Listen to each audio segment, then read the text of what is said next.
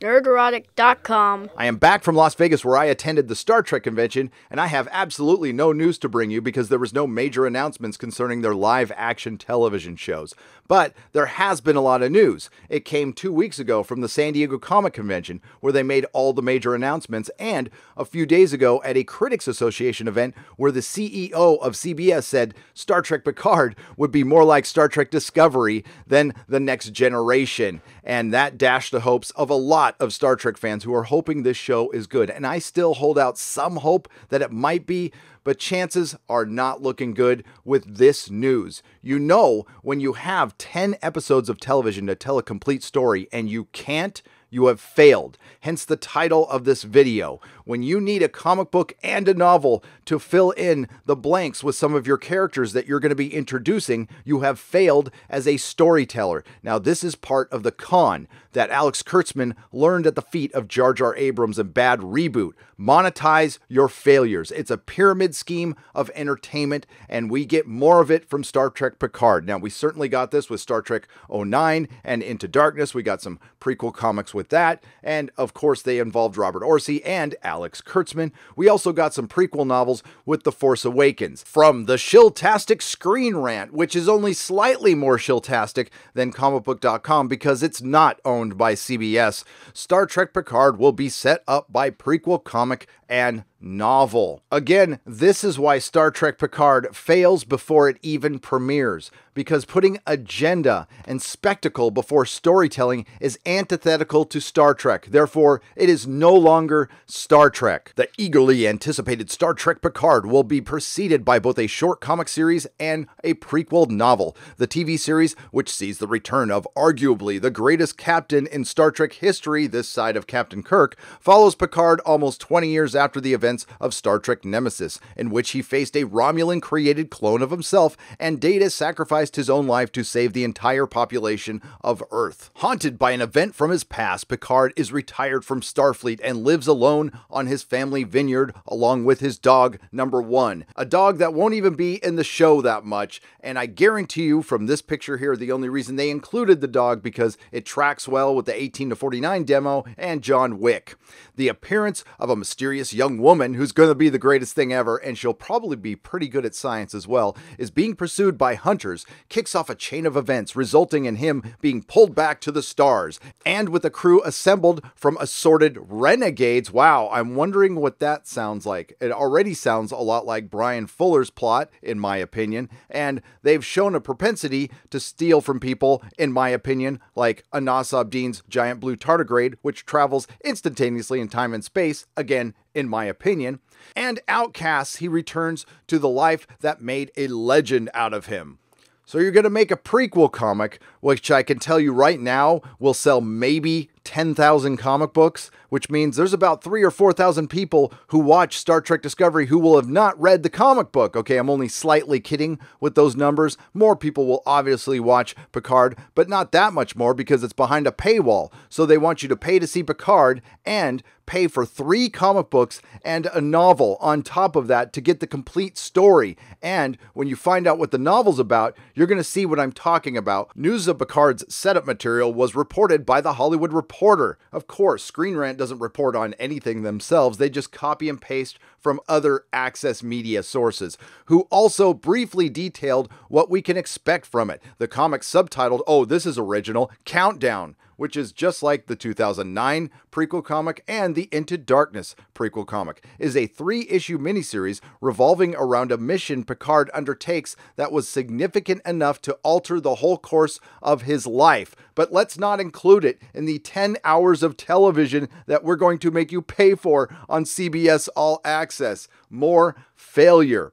The first issue will be published in November and it'll run to January 2020. A month later sees the release of The Last Best Hope, a novel by veteran tie in scribe Una McCormack that will directly lead into the TV series by introducing new characters who will appear in the show. So, the backgrounds of all your new characters that you have 10 hours of television to introduce are going to be brought to you in a comic book. Again, that nobody is going to read. And we will have the same problem that we did with 2009 Star Trek, where Nero felt like a hollow villain because they gave you all his background in a comic book. Like the show itself, comprehensive plot details are being kept under wraps because there aren't any but some information can be extrapolated. In 2009, a comic book miniseries titled Star Trek Countdown, which I just talked about, acted as a prequel to the J.J. Abrams reboot movie and gave us all the characterization of Nero and none of it in the film, featuring the destruction of Romulus by a supernova and Nero's rampage against those he held accountable before he and his ship and a crew were thrown back in time along with Spock.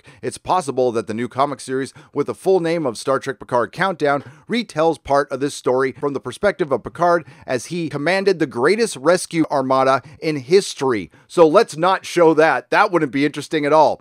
To save the surviving Romulans. Since the mission had such a profound effect on Picard, its events and fallout are most likely to be what led to his decision to leave Starfleet and spend the rest of his life Earthbound. Picard was given a perfect ending in Star Trek The Next Generation and a not so perfect ending in Nemesis, but he was still in a good place in the fandom's hearts. But here comes Alex Kurtzman to piss all over it. And now he's going to be a broken down old man. And the events that led up to this, we aren't even going to be shown on screen.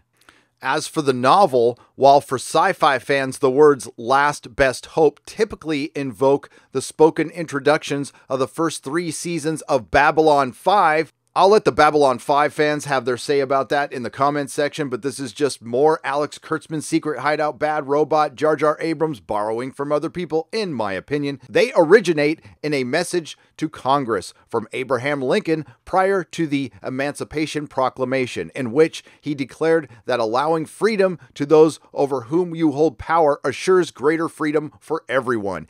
And there's the Access Media we all know and love to come in for the save. It's likely a reference to the former Borg drones on whom the Romulans are experimenting, released from one kind of subjugation only to find themselves trapped in another, spending 16 years at the hands of a people who want someone to blame for the destruction of their homeworld, since it's unreasonable to expect all viewers to read tie in material. Yes, it is. The events that play out in the comic and novel will doubtless be recapped in the show proper in probably a 5 to 10 second flashback. But those who want to experience them as full narratives, well, you can't do that while you're watching anything by Alex Kurtzman. There's no such thing as a full narrative, but you can go on pretending in their own right will have ample opportunity to do so before Star Trek Picard begins.